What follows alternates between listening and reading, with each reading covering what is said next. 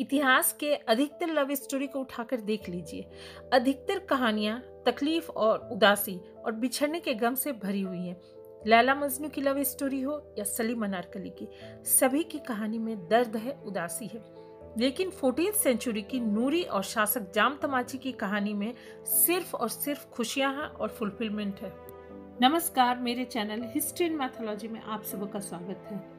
आज हम बताएँगे सिंध प्रांत के नूरी और जाम तमाची की प्रेम कहानी, जो किंजर झील से भी ज़्यादा गहरी थी और पाकिस्तान के सिंध प्रांत के किंजर झील के बीचों बीच बना जाम तमाची द्वारा बनाया गया नूरी का मकबरा, आज भी उस गहरे प्रेम की याद दिलाता है।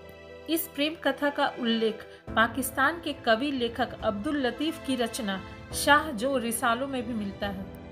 ये कहानी फोर्टीन सेंचुरी की है जब पाकिस्तान के सिंध प्रांत में संबा वंश का शासन था और जाम तमाची वहाँ का शासक था। पौराणिक कथाओं के अनुसार सिंध के किंजर झील के आसपास मछुआरों की बस्ती थी और वे मछली मारकर अपना जीवन निर्वाह करते थे। इसी बस्ती की एक मछुआरे की बेटी थी नूरी।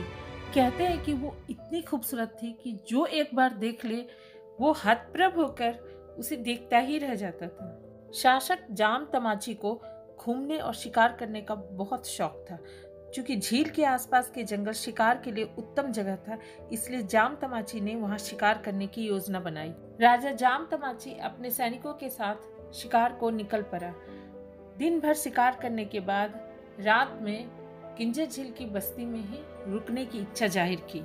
बस फिर क्या था? मछुआरे के पूरे गाँव में उत्सव की लहर दौड़ गई। हर कोई हमारे राजा आ रहे हैं, ये सोचकर अपने घरों को सजाने लगा। वहाँ उसी मछुआरे की बस्ती में नूरी नाम की लड़की थी, जो बहुत ही खूबसूरत थी। वो अपने पिता के साथ एक छोटे से पुआल, यानी फूस के बने हुए घर में रहती थी। वो हर दिन अपने पिता को मछली पकड़ने में सहायता के लिए किंजर झील जाया करती थी। उस दिन जब राजा के बस्ती में आने की खबर से कोलाहल मचा हुआ था चारों तरफ़। हर कोई खुश था। नूरी भी काफ़ी खुश थी एक्साइटेड थी। उसके मन में तरह तरह के विचार आ रहे थे।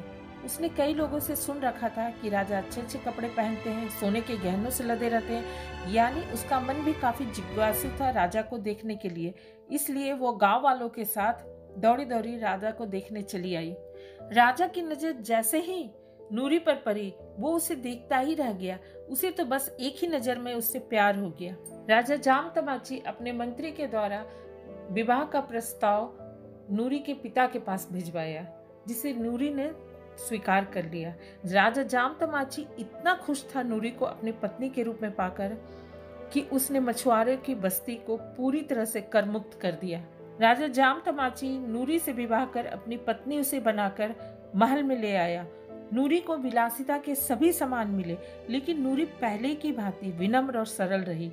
शादी के बाद भी ये बात जाम तमाची के दिल को छू गई और वो नूरी से और अधिक प्रेम करने लगा। लेकिन महल में रहने वाली शासक जाम तमाची की अन्य पत्नियों को ये बात चुभती थी कि एक गरीब मछुआरी की बेटी भला उनकी बराबरी कैसे कर सकती थी। बस क्या था, षडयंत्रों का सिलसिला शुरू हो गया।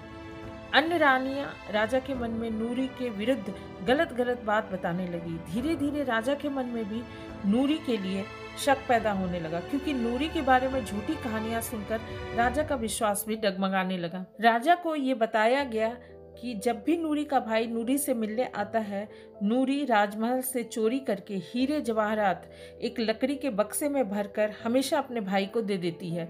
राजा भी नूरी के बारे में ये कहानी सुनकर हैरान था। उसका दिल ये विश्वास नहीं कर पाता था। लेकिन उसके दिमाग में शक पैदा हो चुका था। तो उसने रंगे हाथ नूरी को पकड़ने का आदेश दे दिया।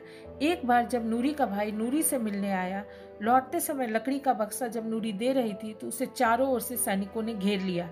नूरी हैरान थी और उस बक्से को सैनिकों को देने के लिए तैयार नहीं थी।